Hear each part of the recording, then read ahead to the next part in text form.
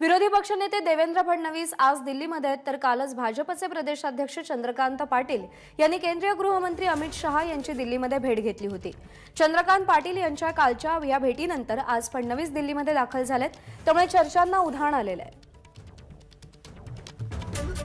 प्रशांत कदम आपले प्रतिनिधी सध्या आपल्यासोबत आहेत. प्रशांत सुरुवातीला चंद्रकांत पाटील त्यानंतर फडणवीस आज दिल्लीच्या दौऱ्यावर आहेत.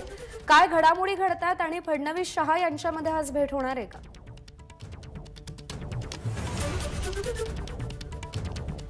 प्रज्ञा भाजपचे दोन राज्यातले महत्त्वाचे नेते पाठोपाठ दिल्लीमध्ये दाखल झालेले आहेत. कालच चंद्रकांत पाटील यांनी अमित शहांची भेट घेतली. खरं तर मागच्या दौऱ्यामध्ये चंद्रकांत पाटील हे दिल्लीत चार दिवस होते मात्र त्यावेळी त्यांची अमित शहांसोबत भेट झालेली नव्हती. काल ही भेट झाली आणि पाठोपाठ आज सकाळी देवेंद्र फडणवीस हे दिल्लीत दाखल झालेले आहेत. भाजप मुख्यालयामध्ये आज या दोघांचीही एकत्रित बैठक नड्डा आणि इतर लोकांसोबत होणार आहे. एक असं सांगितलं जातं की संघाशी संबंधित काही विषय आहेत त्या दृष्टीनं चर्चा होईल. पण राज्यामध्ये स्थानिक स्वराज्य संस्थांच्या निवडणुका लवकरच होणार आहेत. त्या पार्श्वभूमीवरती काही महत्त्वाची चर्चा होते का हे पाहावं लागेल.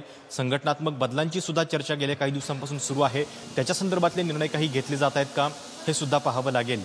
आणि गेल्या काही दिवसातला जर आपण महाराष्ट्र भाजपतला बदल बघितला तर दोन हजार एकोणीसला ज्या नेत्यांना डावललं गेलेलं होतं त्या सगळ्या लोकांना पुन्हा एकदा पुनर्वसन करून संधी दिली जाते चंद्रशेखर बावनकुळेंना विधान परिषदेचं तिकीट मिळालं. विनोद तावडेंना ज्यांना मागच्या वेळी तिकीट नाकारलेलं होतं त्यांना सुद्धा राष्ट्रीय पातळीवरती सरचिटणीस म्हणून जबाबदारी देण्यात आली.